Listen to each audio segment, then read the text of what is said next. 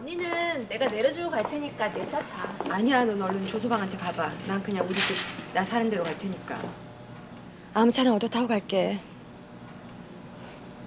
괜찮겠어? 이 시점까지 와서 더 버텨본들 별수 있겠니? 다만 엄마 아버지한테만 입 다물면 돼.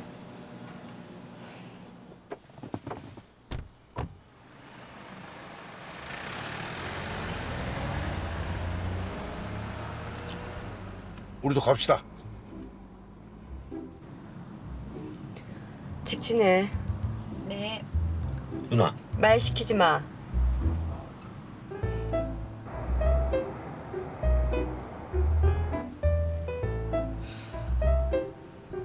부지런히 따라가시오.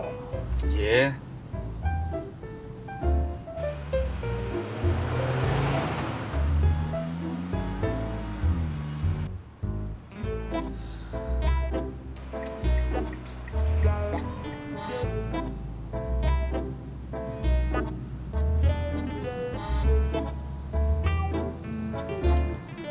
저기 오른쪽으로 가면 어떤 병원이 있어? 병원이요?